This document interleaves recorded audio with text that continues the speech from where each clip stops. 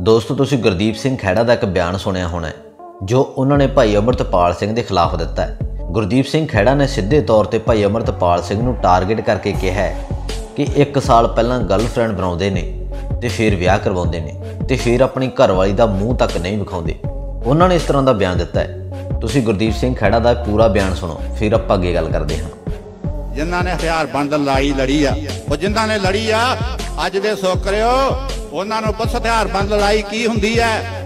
ਉਹ ਖਾਲੀ ਡੀਂਗਾ ਮਾਰਨੀਆਂ, ਇੱਕ ਇੱਕ ਸਾਲ ਗਰਲਫ੍ਰੈਂਡ ਬਣਾ ਕੇ ਤੇ ਮੁੜ ਕੇ ਵਿਆਹ ਕਰਾਉਣਾ ਤੇ ਦਾ ਮੂੰਹ ਨਾ ਵਿਖਾਉਣਾ। ਉਹ ਕਹਿਣਾ ਵੀ ਗੁਰਦੀਪ ਸਿੰਘ ਖੈਰਾ ਹਾਰ ਗਿਆ, ਕਾਲੀਆਂ ਦੀ ਝੋਲੀ 'ਚ ਪੈ ਗਿਆ। ਉਹ ਸਾਹਮਣੇ ਆ ਕੇ ਗੱਲ ਕਰੋ, ਗੁਰਦੀਪ ਸਿੰਘ ਖੈੜਾ ਹਾਰਿਆ ਨਹੀਂ। ਗੁਰਦੀਪ ਸਿੰਘ ਖੈੜੇ ਨੂੰ ਕੋਈ ਪਰਵਾਹ ਨਹੀਂ 32 ਸਾਲ ਕੱਟੇ ਆ। ਦੋਸਤੋ, ਗੁਰਦੀਪ ਸਿੰਘ ਖਹਿੜਾ ਦਾ ਕਹਿਣਾ ਸੀ ਕਿ ਭਾਈ ਅਮਰਤਪਾਲ ਸਿੰਘ ਨੇ 1 ਸਾਲ ਪਹਿਲਾਂ ਆਪਣੀ ਗਰਲਫ੍ਰੈਂਡ ਬਣਾ ਰੱਖੀ ਸੀ।